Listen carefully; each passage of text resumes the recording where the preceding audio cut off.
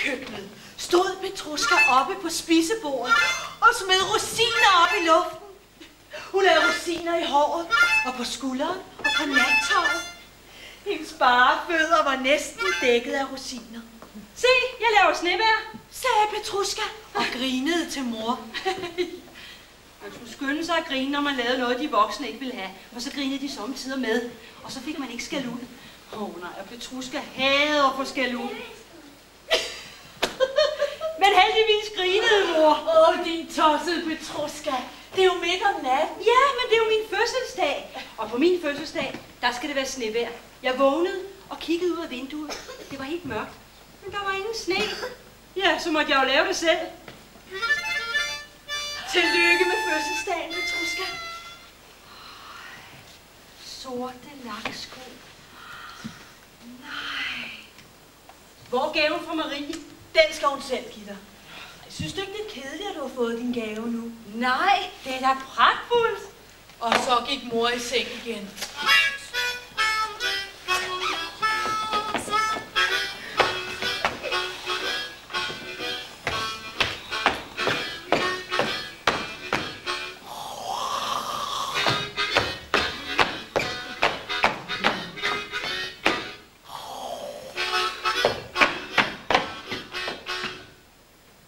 De er for store. Hvad siger du? Skoene, de er for store.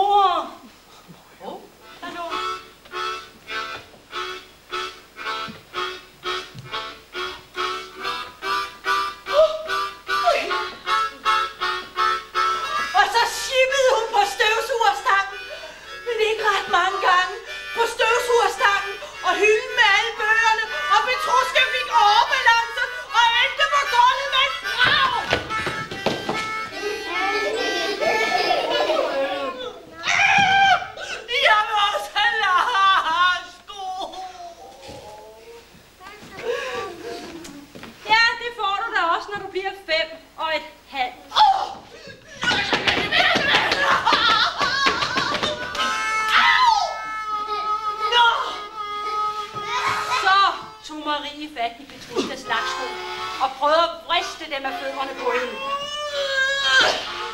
Men Petruska stod fast og var ikke til at rokke. Så tog Marie fat i Petruskas arm og bed i den. Au!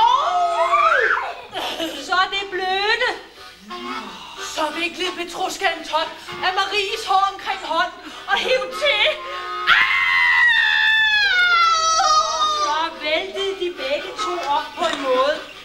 Marie fik fat i Petruskas ene laksko og slog hende oven i hovedet med den.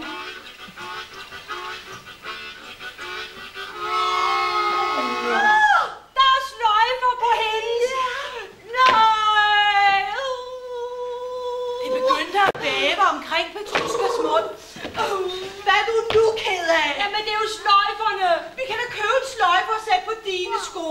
Nej, det bliver aldrig det samme, så de ikke er født med sløjfer på. Petruska, det var de eneste laksko i Maries størrelse.